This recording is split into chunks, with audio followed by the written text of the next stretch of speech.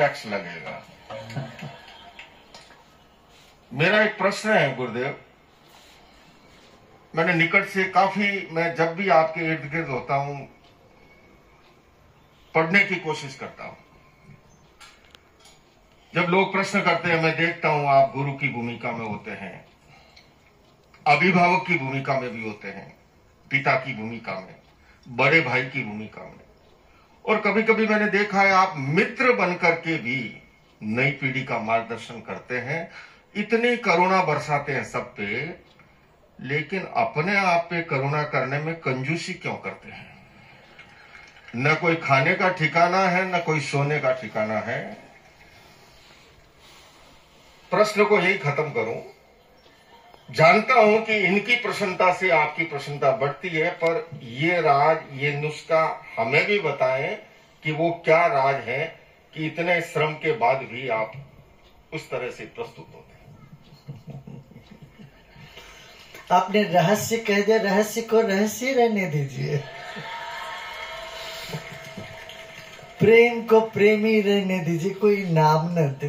बोलना तो अब देखिए चंद्रमा कितना चमकता है पूर्ण पूर्ण चाँद और सूरज का जब मिलन हो गया है तो प्रश्न मेरा ये है गुरुदेव विनायक जी तो चले गए उधर से नालायक अभी यहाँ बैठा है आपकी बाई और अगर किसी नालायक को संगायक विनायक या नायक बनना हो तो उसको ध्यान और अध्यात्म में क्या नुस्खा अपनाना चाहिए? नहीं नहीं आप तो बोले आप, तो इतने दुनिया में इतना घूम घूम के एक क्रांति लेके चले हैं।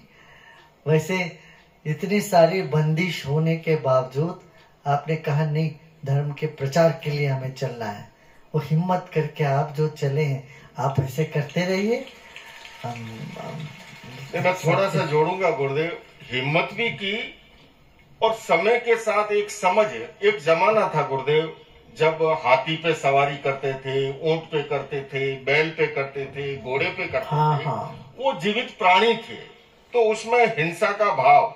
अब विज्ञान आगे बढ़ गया और आप तो गुरुदेव कहते हो कि अध्यात्म और विज्ञान एक दूसरे के विरोधी नहीं पूरक है उनका समन्वय करके। समझ के साथ चलना चाहिए। साथ अभी पहले तो कहते थे कि पानी को शोध करके पानी को कपड़े में शोध करके पीना चाहिए। अब क्या करते हैं? नल में नल में एक कपड़ा बाँध देते हैं। अब वो नल के कपड़े के ऊपर जाके मक्खी बैठ जाती है धूल बैठ जाता है। अपना उद्देश्य तो क्या? पानी को शुद्ध पीना। है अब वो गंदे कपड़े से पानी जब निकलता है कि उद्देश्य ही खत्म हो गया। गंदा हो गया। तो इसलिए अध्यात्म को अपने ग्रंथों को समझ के साथ करना, उसमें आप अग्रसर होके कर रहे हैं। पहले संत थे जो, मुनि जी हैं जो, समुद्र पार करके गए, सब दुनिया में, सब देश में गए।